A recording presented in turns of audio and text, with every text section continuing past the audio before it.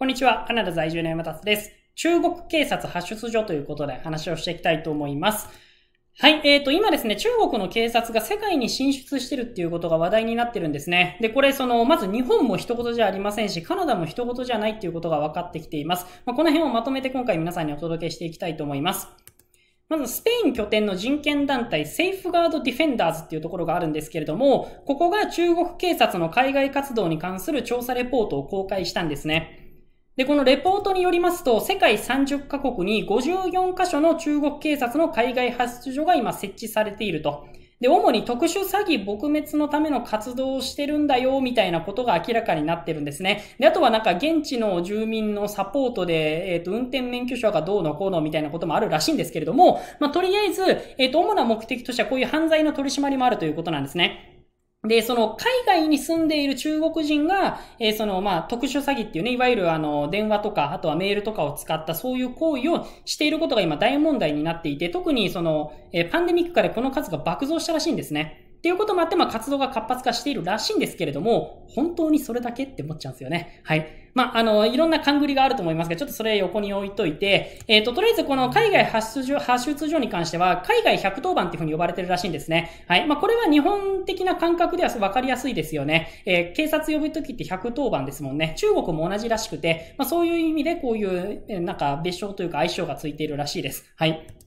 で、えっ、ー、と、54箇所あるうち32箇所は福建省復讐警察が管轄。で、残りの22箇所に関しては、浙江省静電警察が管轄しているということなんですけれども、この54箇所中、少なくとも3箇所はカナダにありますよと。で、日本の東京にも1箇所ありますよということが確認されているんですね。え具体的に、えっと、今年の1月から出現し始めたらしいんですけれども、世界中こんな感じらしいです。はい。えー、まず東はもう日本にありますよと。で、東南アジアにはブルネイとかカンボジアにあったりとか、あと中央アジアには、えっ、と、ウズベキスタンで、まあ、モンゴルも一応入れていいのかな。はい。あとは中東もそうですし、あとはヨーロッパとかはもうほぼ全域にありますね。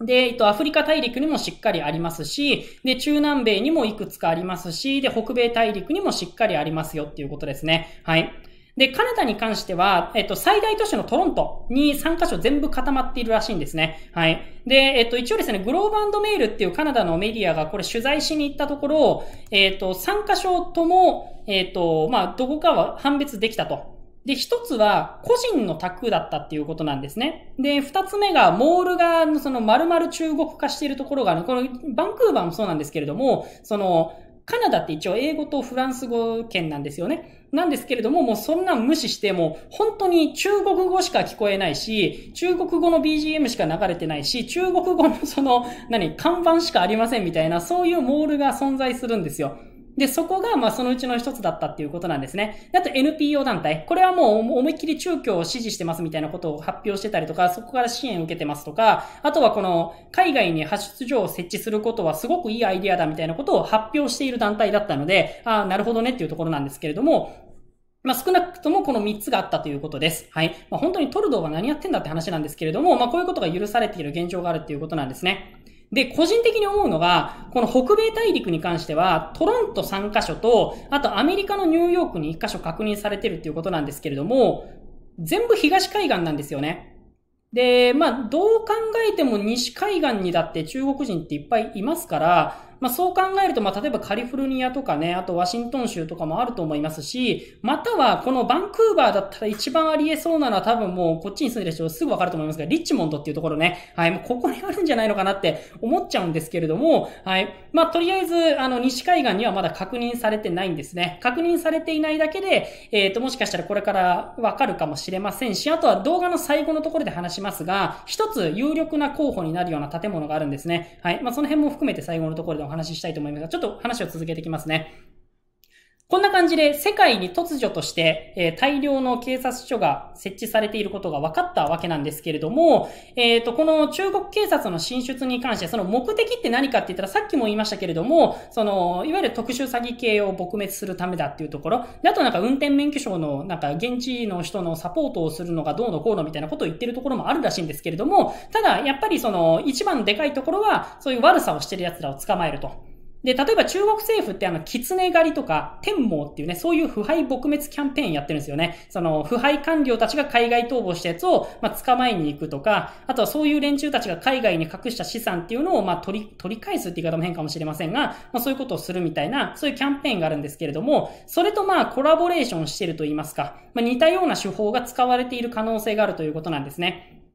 具体的に中国政府ってこういうなんか一応政府からして悪さをしているというふうに認定された人たちに対して何やってるかって言ったら、容疑者が中国に自主的に戻るように促す手法を取るということなんですね。はい。じゃあ自主的にどうやって戻らせるかって言ったら、まあ簡単に言うと圧力かけるわけなんですけれども、えー、このセーフガードディフェンダーズはタイプ1、2、3に分けてそれを解説しています。えー、タイプ1に関しては、中国国内に住んでいる家族の居場所を特定して、で、その人たちに圧力をかけることによって、まあその人たちから頼むから帰って来てくれっていうふうに言わせるということですね。で、この中には例えば子供も含まれていて、その子供の学校に行くことを禁止するっていうような、それもなんか法律か何かで決まってるらしいんですけれども、まあ、そういうふうに、えっ、ー、と、まあ、圧力をかけることができるということなんですよね。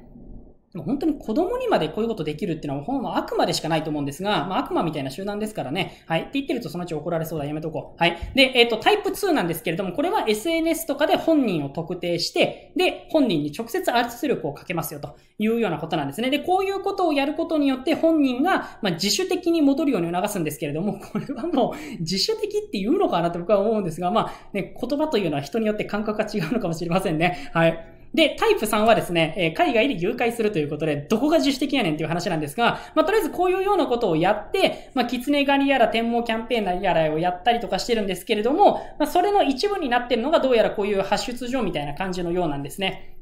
で、中国政府の発表によりますと、昨年4月から今年7月までの間に23万人の特殊詐欺の容疑者が自主的に帰国したというふうに発表しています。はい。まあ、あの、効果抜群でしたということを言いたいんだと思うんですけれども、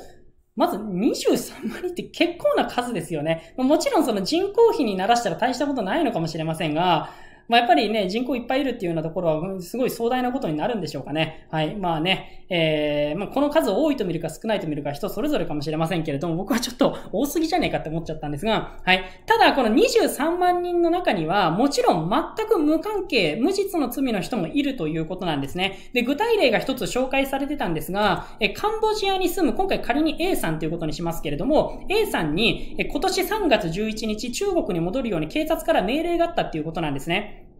で、本人は全く何の悪いこともしてないけれども、なんか詐欺に関わったってことにされているらしいんですよ。その電話を使った詐欺でどうのこうのみたいな。でも本人全く関係ないんですけれども、それに巻き込まれたっていうことなんですね。で、えっと、このカンボジアに住んでるっていうところが一つ問題だったらしくて、中国って9つの国をそういうなんか詐欺の危険国に指定しているところがあるらしいんですね。そういうことをやる連中たちがいっぱい摘発されているところが9カ国あるらしくて、で、そこに住んでいる人の場合は、その政府からの命令には絶対服従っていうことらしいんですよ。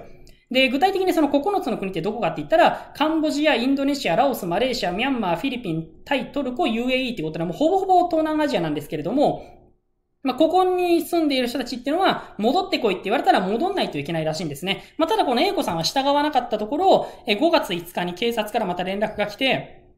お前帰ってこないと、お前のお母さんの家の水道と電気止めるぞというふうに脅しかけられたっていうことなんですね。で、実際その数日後にはそのお母さんの家に何者かがスプレーで詐欺師の家っていうふうにデカデカとボーンって書いて、で、その横に警察の、まあ、令状だかよくわかりませんが、そういう紙が貼られていたっていうことなんですね。もう完全に圧力かけてるわけじゃないですか。で、さらにはなんかテレビか新聞かわかりませんが、メディアも使ったっていうことで、そのまず親に、え地元の委員会メンバーから娘さんを説得してください。5月31日までに帰国させてくださいみたいなことを説得しましたよっていうニュースが出たっていうことなんですね。で、今現在はすでに削除されてるっていうことなんですけれども、まあこういうふうにありとあらゆる方法を使って、えー、帰ってこさせようとしたと。ただ本人は本当に無実の罪だったっていうことなんですね。まあ何をやったのか僕はよくわかりませんけれども、まあそういうふうに関係ない人に関しても容赦なくこういうことをやってるっていうことが分かっていますから、まあその起点になっている派出所をいろんな国に設置させるのを許してるっていうのは、ちょっと危ない話だよねっていうことで今話題になってるんですね。はい。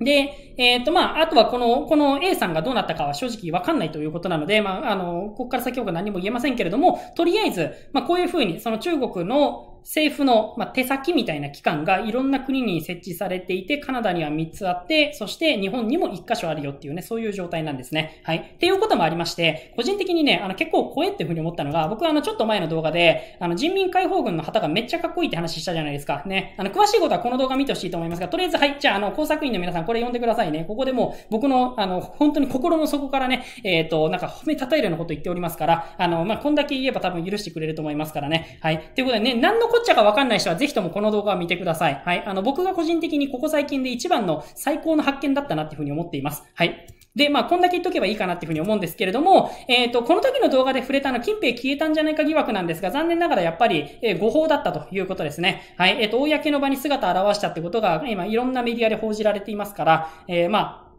ちょっと残念だったかなと思いますけれども、こういうことだったっていうことですね。はい。で、えっと、個人的に思うのが、まあ、こんなことを言ってるとですね、そのうちその現地のところからね、なんかいろいろ言われそうな気がして、マジで怖いなっていうふうに思うんですけれども、さらに怖いなっていうふうに思わせるのが、そのカナダと一帯一路の関係なんですね。えっ、と、7月の下旬なんですけれども、このバンクーバーに、バンクーバーロジスティックスパークっていうのが、えっ、と、公開というか、まあ、完成しましたってことでお披露目されたんですね。えっ、と、サーレー、サーレーっていう地域があるんですよ。えっ、と、一応バンクーバーの隣の隣の隣なんですけれども、人によってはまあ、バンクーバーっていう一言でくくってもいいぐらいの範囲内にあるところなんですね。もう僕の住んでるところの隣なんですけれども、そこに、えー、そこにこの、えっ、ー、と、ロジスティックスパークっていうのができたんですよ。はい。で、これ、その190億円のプロジェクトで第1フェーズが完了しただけでまだどんどんでっかくなってくるんですけれども、これその、いわゆる一帯一路の一環なんですね。2018年に当時の BC 州自由党政権でした。あのトルドーと同じ政権の、えっ、ー、と、政党なんですけれども、そこが一帯一路に参加しますよっていうね、その覚書に署名していたんですね。で、その一環で開発進んでて、で、ようやく第一段階終了しましたってことでお披露目がされているわけなんですけれども、もしかしたらここもそういうね、いわゆる、えー、ね、その発出所みたいな、能力もあるんじゃないかっていうふうに、まあ言われているわけなんですね。はい。まああの、経済連携がね、円滑になる、円滑になるんだみたいな感じで喜んでる人もいるんですけれども、まあやっぱり国家安全保障リスク的にね、怖いじゃないですか。こんなでっかい建物建てられてねっていうことでね。はい。っていうようなことで、今僕って結構そういう近いところに住んでるので、えー、ああいう動画を上げたことに関しては若干ね、えー、怖えなっていうふうに思ってるところもあるんですが、あの、工作員の皆さんさっきも言いましたけれども、ちゃんと僕、さっき褒めましたからね。はい、ということで、それでチャラにしていただけたらというふうに思います。はい。っていうようなことで、あのー、まあ、あの、カナダも含めてなんですけれども、日本もそうですけれども、まあ、知らず知らずのところでこういう発出場が今出来上がってるっていうね、ことが報じられてるっていうことなので、まあ多分これまたいろいろ続報が出てくると思います。なんか今閉鎖もされ始めてるところがあるらしいので、その辺も含めてまだ話題になってくると思いますから、そうなったらまた皆さんにその続報をお届けしていきたいと思います。はい。ということで、今回の動画は以上にしたいと思います。最後までご視聴ありがとうございました。えっ、ー、と、あ、そう、最近ね、あの、ソファーを買ったんですよ。あの、前のやつは売って、そう、こっちの、いろ、ね、家具とか簡単に売れるので、本当にありがたいんですけれども、それでできたお金とかを使って、あの、違うソファー買ってみたんですけれども、はい、そこでなんかよくわかんないですけど、あの、デブちゃんが追い込まれて、たぬきくんとね、なんか追いかけっこしているところですね。はい。という、そんな日常風景でお別れをしたいと思います。ということで、最後までご視聴ありがとうございました。失礼いたします。